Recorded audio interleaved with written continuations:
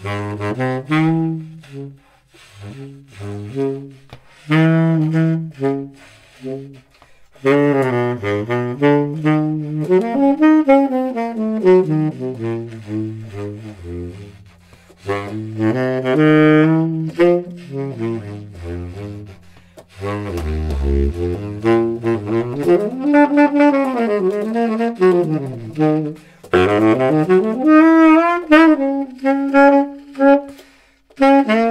Mm-hmm.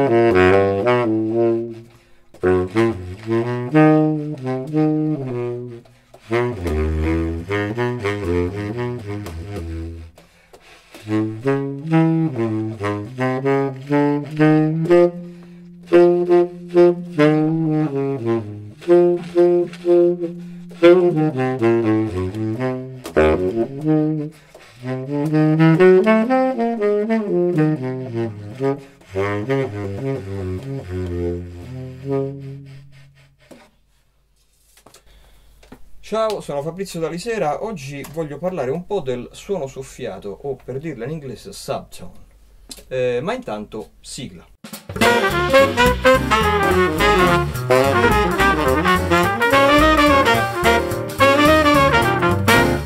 Questo video eh, appartiene ehm, sempre alla serie Zen and the Art of Saxophone Sound, ossia lo Zen e l'arte del suono del sassofono, cioè una serie di esercizi che eh, mi piace condividere con voi, una serie di esercizi da suonare molto lentamente, eh, da qui appunto il carattere eh, della meditazione Zen, eh, per sviluppare il proprio suono e eh, tutta una serie di... per suono non intendo solamente la produzione del suono, ma intendo anche le varie caratteristiche del suono, quindi eh, l'intonazione, la dinamica, ehm, il vibrato, è, tut- tutta una serie di, eh, di, cose che riguardano il suono. Oggi parliamo del subtone o suono soffiato. Io ti consiglio di fare questa cosa qui, cerca di capire, cerca di capire dove nasce il suono solamente con l'aria, guarda.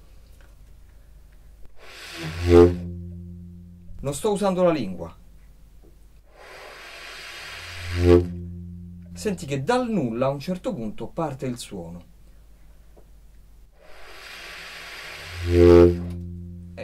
Secondo me questo è il primo step che devi fare per capire il subtone. Labbro molto morbido e più arretrato verso la punta dell'ancia. Guarda, ti faccio vedere rispetto, non so si riesce a vedere qui dalla camera, rispetto al suono impostato, arretro il labbro inferiore vado più verso la punta. Una cosa importante che secondo me è eh, il motivo per cui molte persone hanno difficoltà a suonare il subtone è che eh, dato che il suono diventa più diffuso e perde di ehm, pressione, diciamo così, rispetto al suono timbrato, rispetto al suono impostato, magari viene istintivo di soffiare meno, perché uno associa un po' il subtone al fatto di suonare anche eh, ad una dinamica più bassa. Invece non devi soffiare meno, perché rispetto al suono impostato, al suono timbrato, ti serve più aria per suonare il subtone, perché parte dell'aria verrà persa a causa del, dell'allentamento del labbro inferiore. Quindi devi soffiare, diaframma che spinge molto anche sul pianissimo, per riuscire anche, tra l'altro, eh, questo secondo me è l'obiettivo di, del subtone, ehm, usarlo non solamente nel pianissimo ma anche a un volume più sostenuto.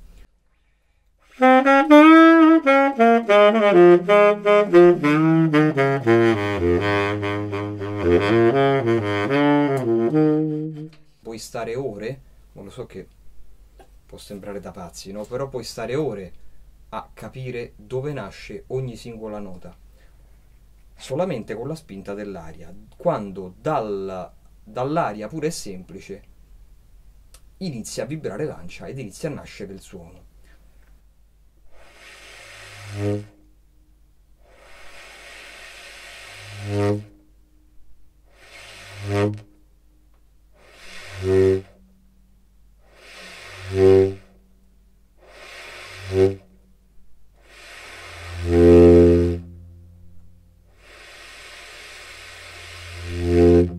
Eccetera. Questo è fondamentale per capire come dosare l'aria, per capire qual è la soglia per mettere in vibrazione l'ancia.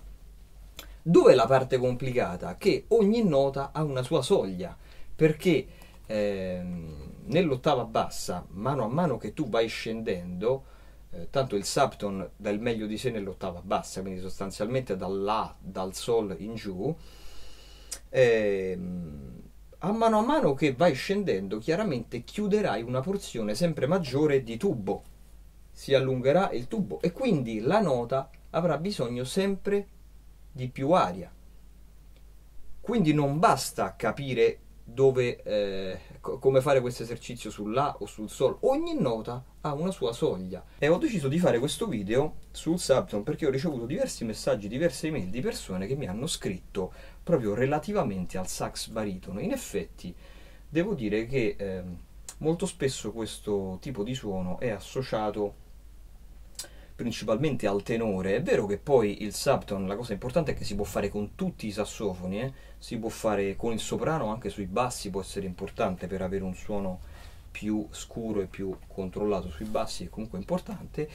E sull'alto anche, diciamo che sicuramente sui sassofoni che hanno che vanno un po' più giù come estensione, quindi il tenore e il baritono, secondo me, anche, eh, diciamo che il subton forse eh, può dare il meglio di sé nel senso che rende molto ovviamente nell'ottava grave. E quindi essendo questi sassofoni avendo parecchia eh, avendo un'estensione nelle note gravi possono secondo me dare molto nel subton quindi questi, questo tipo di esercizi potete farlo chiaramente con tutti i sassofoni. Allora e parliamo un po' del subton del baritono. Io non so perché ma il baritono spesso oggi viene suonato un po' in questo modo qui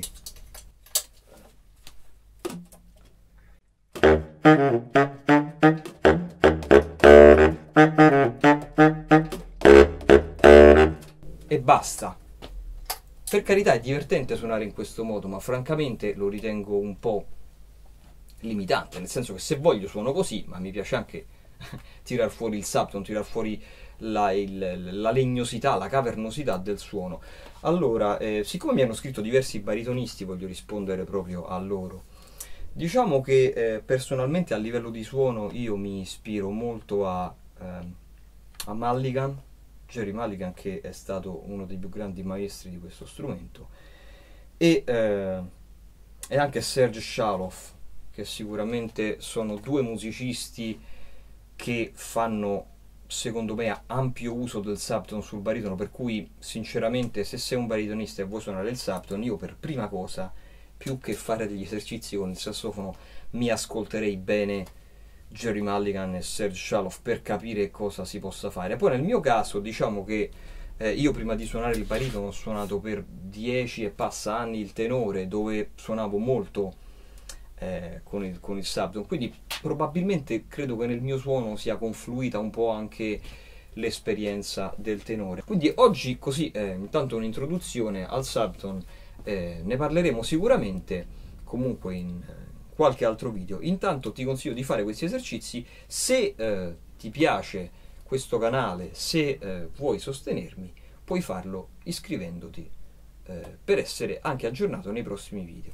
Ciao, ci vediamo la prossima settimana.